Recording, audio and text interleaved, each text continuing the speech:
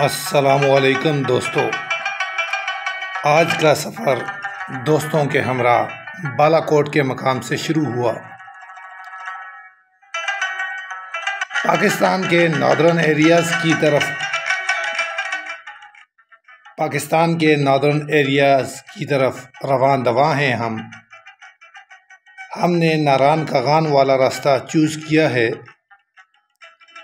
रास्ते के मनाजर आपके साथ शेयर करते हुए, हम इस वक्त जा रहे हैं बाबूसर टॉप की तरफ़ नारान कगान से होते हुए, शोगरान के इलाके से गुज़र कर आए हैं। जहर का टाइम है, हमने बटकुंडी में नमाज़ जहर अदा की है। अब हमारा सफ़र नारान की तरफ़ है। इससे आगे बटकुंडी, जलखड, और देन हम बाबूसर टॉप की तरफ़ जाएँगे। आप खूबसूरत मनाजिर देख सकते हैं। ऊँचे ऊँचे पहाड़, ग्रीनरी बर्फ़ से ढकी हुई चोटियाँ, और नीला आसमान। खूबसूरती के मनाजिर आपको दिखाते हैं हम।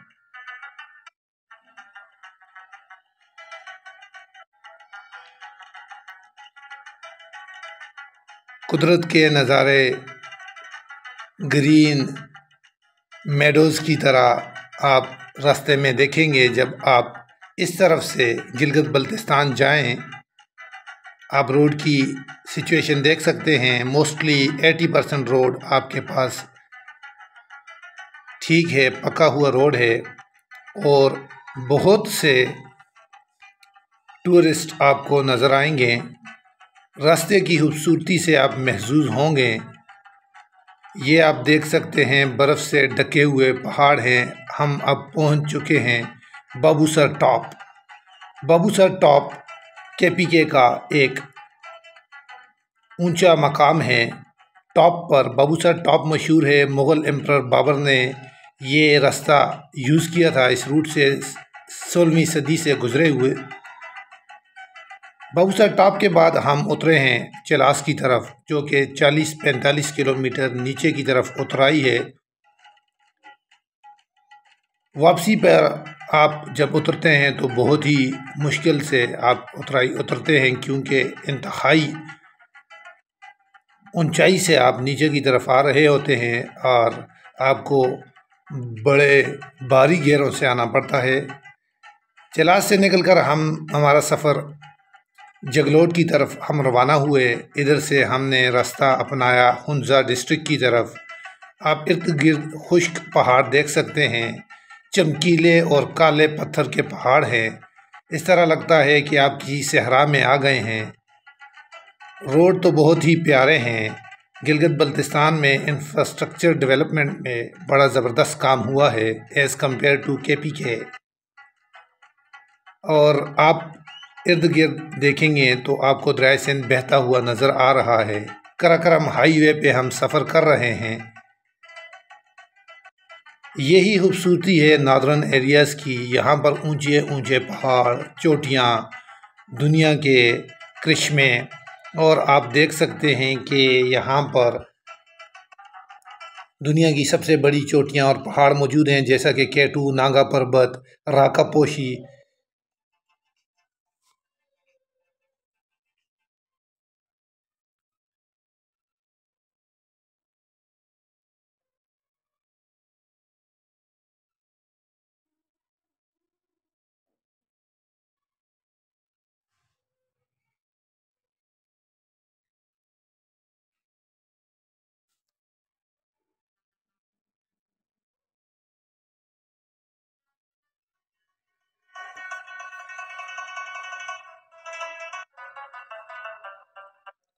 हम अभी मौजूद हैं, पहुँच चुके हैं हंजा के इलाके में और यहाँ से हम ट्रैवल कर रहे हैं आगे अपने मकाम तक। हमने जाना है आज करीमाबाद जा रहे हैं।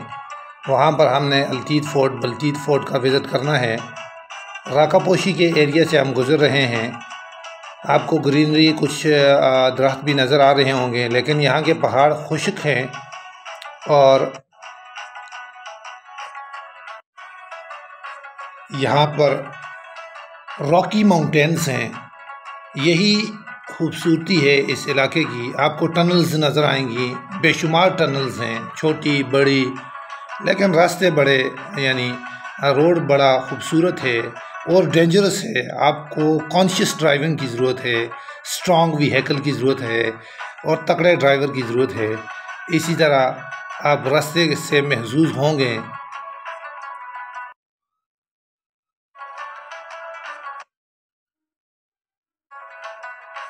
बहुत ही प्यारा कराक्रम हाईवे है, जो कि 1978 से बनना शुरू हुआ था और पाकिस्तान और चाइना के तावन से बना है।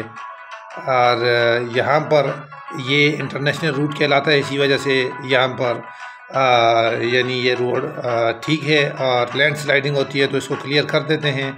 लोकल कम्युनिटी भी इसका बड़ा ख्याल रखती है, क्योंकि टूरिज़म इंडस्ट्री के लिए, ट्रेड के लिए ये यही सोर्स है और इसी वजह से आप रास्ते को देख सकते हैं कि कितना, कितने मुश्किल से इसको बनाया गया है, कितनी जदीद मशीनरी यूज़ करके और टेक्निकल तरीके से एक दुनिया का यानी वंडर्स में आता है, एक अजूबा है कि आपने इतनी मुश्किल रेंज से माउंटेन रेंज से, जैसे कि कराक्रम रेंज है, हमालिया रेंज है, कोहे, हिंदुकेश रेंज है, वहाँ से ये रास्ता बनाया है। राकापोशी के एरिया में हमें, आप देख सकते हैं कि राकापोशी वाले ग्लेशियर से पानी पिघलता हुआ इस आबशार से गुजर रहा है।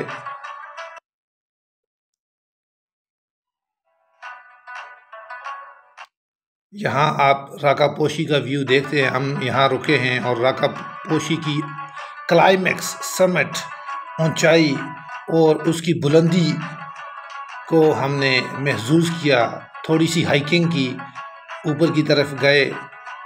अगरचे मौसम इतना ठंडा भी नहीं था और इतना गर्म भी नहीं था। दिन के वक्त धूप, सख्त धूप थी, क्योंकि सूरज आपके सर पे होता है और आप एक दस पन दस से बारह हज़ार की बुलंदी पर आप सफ़र कर रहे हैं तो आपको उसकी तपश का आइडिया होता है। साथ में ठंडी ठंडी हवाएँ भी चल रही हैं और ठंडा यख पानी आप जब पानी में हाथ लगाते हैं, दूसरी तरफ़ आपको चमकते हुए पहाड़ ऊँची ऊँची चोटियाँ, इनको गोल्डन पहाड़ भी कहते हैं।